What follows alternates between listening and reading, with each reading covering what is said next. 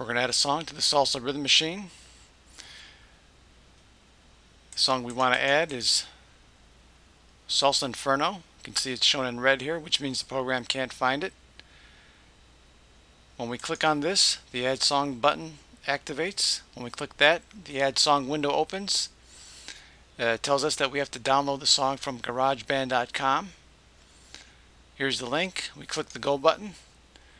Our browser, browser opens on that page, the LA Carpool band page. We look in the songs list. There's Salsa Inferno. Click the download link. Save it to the desktop.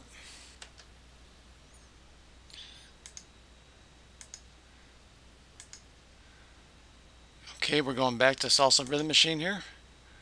On the File menu, we go to Song Locations. And we're going to scroll down to find Salsa Inferno, shown in red here, which means the program can't find it. Now, I'm going to leave this file here on the desktop, but you can put it anywhere you want on your computer.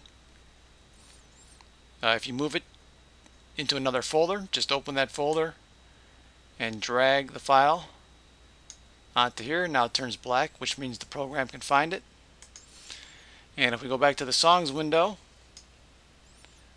it's shown in black, and when we click on it, we have the play button, so we can play it.